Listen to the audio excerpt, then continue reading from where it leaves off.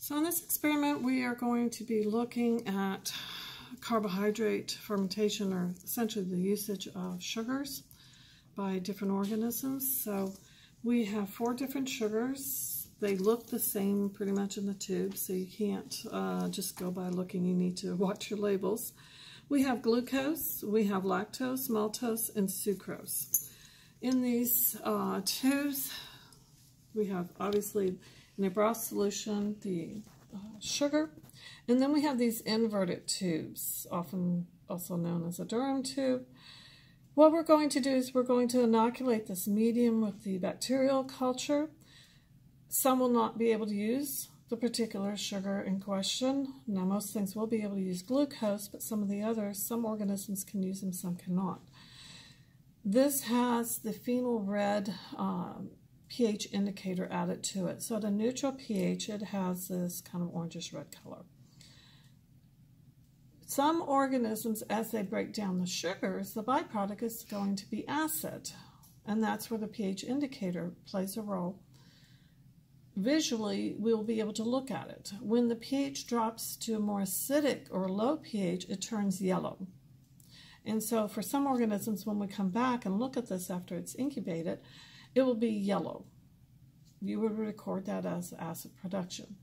In addition, some organisms produce gas, and that's what the inverted tube is for. If gas is produced as a product, it will displace the liquid in this inverted tube, and you will get a gas bubble being formed up here, sometimes quite a bit, sometimes just a small amount. So that's what we're going to look for. To inoculate each of these, we're going to use two different cultures. We will use E. coli and Proteus vulgaris.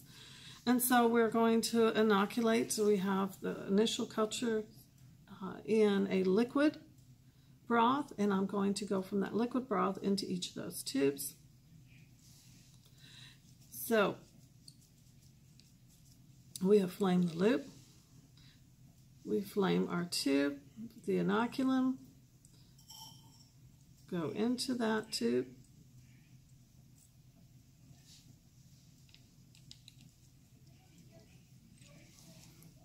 Sometimes I'm just showing this holding one tube at a time. When you get very experienced with this, you can actually hold two tubes in one hand and just go straight from one to the other. So we're just going to go now into this tube, go down to the bottom, touch along the side,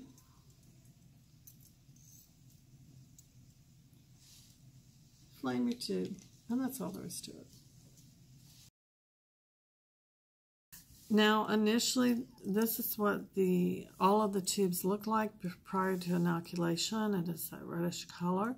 And as you can see, the inverted tube is full of fluid. So in this particular uh, one, excuse me, this tube uh, would be classified as a negative because you do not have acid production, you do not have gas production. Now in this tube over here, if you look at the inverted tube, it is yellow inside there. So the organism has just started growing. Once again, this is E. coli. So you're starting to get some acid production, but no gas. In this tube, you can definitely tell, obviously, it has turned yellow. That would be positive for acid. And then if you look at the inverted tube, you can see there's air bubble in there. So that is positive for gas. So you would record that as AG or acid and gas. This tube here would also be recorded as acid plus gas production. Now the Proteus vulgaris, as you can see back here, this tube would be a negative. You do not have any change in color. You do not have gas production. This tube is yellow by comparison, which would mean just acid production, but there's no gas. So you need to look when you go to analyze the results, a couple of different things. Has there been a color change? You're looking for acid. In addition, if there was acid production, look at that inverted tube and see if there's a gas bubble. That would indicate gas production in addition to acid. Just so you know, you would not have gas production by itself without acid. So your choices are a negative, acid, or acid plus gas.